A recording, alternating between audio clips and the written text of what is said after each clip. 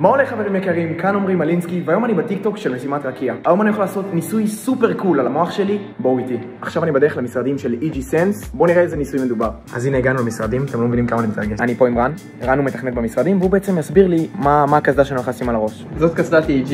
EEG זו טכנולוגיה של אה, מדידת גלי מוח. אם אתה עכשיו אוכל שוקולד, נוכל להגיד לך אם הוא היה לך טעים, לפי התחושות והגלים שיוצאים לך מהמוח. מה זה הסיבים האלה הקטנים? כל ארבע סיבים כאלה זה אלקטרודה. כמו שאתה רואה יש פה הרבה מאוד אלקטרודות, ככה שהן יכולות להתנפח ולגעת קרקפת של כל אחד מהנבדקים. טוב חברים יקרים, עכשיו אני הולך למדוד את הקסדה, ובעצם להפעיל את המערכת שאחראית עליה. הקסדה תבדוק את המצב של המוח שלי. יש לי תחושה שהמוח שלי פגז.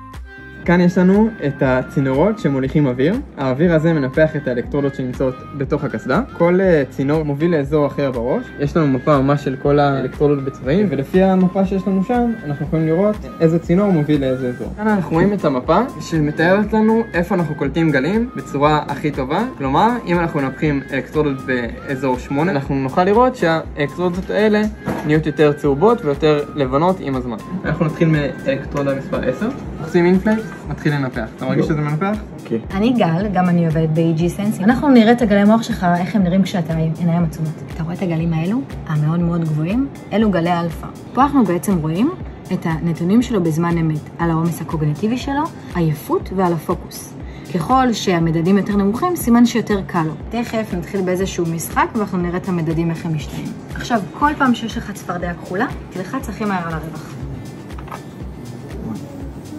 עכשיו, בגלל שהוא במשימה, אז העומס הקוגניטיבי מאוד מאוד גבוה, גם מבחינת הפוקוס, הוא מתאמץ אה, להתרכז, וגם אה, העייפות מתחילה להשפיע. זאת מהירות התגובה שלך בקליקים. לא רע בכלל, אתה אפילו די מהיר. עכשיו, משימה שמודדת את הפוקוס שלך, הולך להיות לך מסך דמקה מרצד, תבחר משבצת אחת, תתמקד בה, גם כשהיא מחליפה צבעים, אז העומס הקוגניטיבי כנראה עדיין גבוה עליו, אבל בגלל שמתמקד בנקודה אחת, אנחנו רואים שהנתונים של הפוקוס יורדים. העייפות עדיין משפיעה. איך איתן יעשה את זה בחלל?